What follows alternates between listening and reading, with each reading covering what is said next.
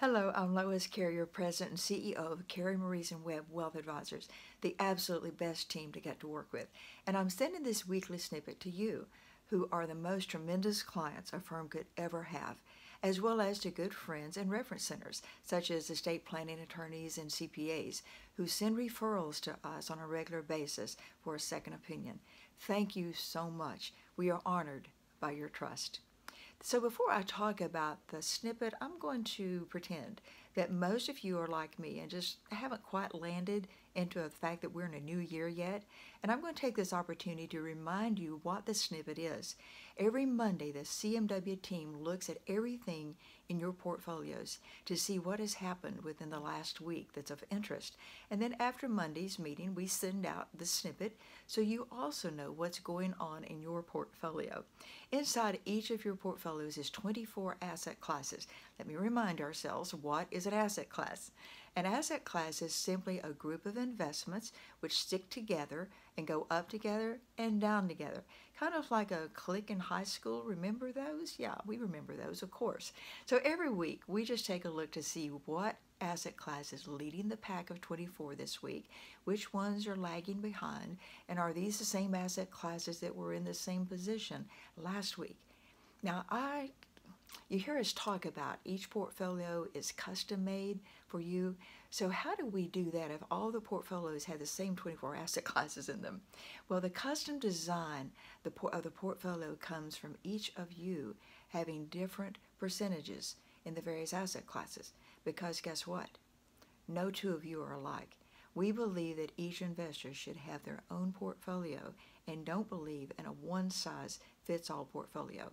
With that said, let me move into this week's snippet. Uh, well, I have to tell you that when we look into the portfolios on Mondays, I find it a little boring. So I imagine a great big racetrack for horses. And on this racetrack, there are 24 horses or asset classes. So every week, we're looking to see which asset class horse is ahead, or maybe which ones took the lead from last week. What about the middle of the pack? What's going on there? Has anything changed? And what about the ones lagging? Are they the same ones that were laggers last week, or have we had a new lagger drop into last position? Because each asset class will eventually lead the pack and also be the lagger. That's just what asset classes do. That's why they're in your portfolio. And this would be hard to believe, especially if you love racehorses like I do.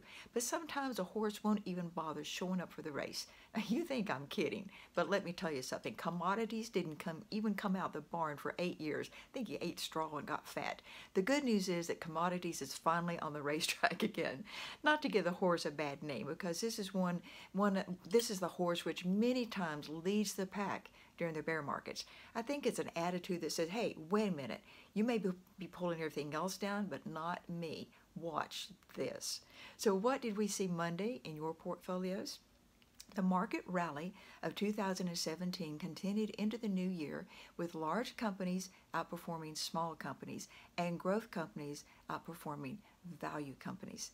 Interesting to note, foreign equities have kept in step with U.S. markets, which doesn't happen often and is really quite exciting. With domestic and foreign both pulling together, we have a GDP rising and a positive attitude within companies like ours towards growing again. These two markets pulling together is reassurance to us that this market is a strong market. Definitely good news.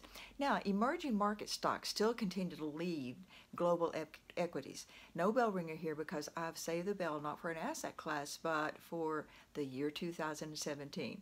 Because 2017 ended with all 24 asset classes, equity and fixed income benchmarks covered by us, all in the positive. What a tremendous way to end a year. So the bell ringer goes to the year 2017. So from all of us to all of you, Happy New Year. And may 2018 be as great as 2017.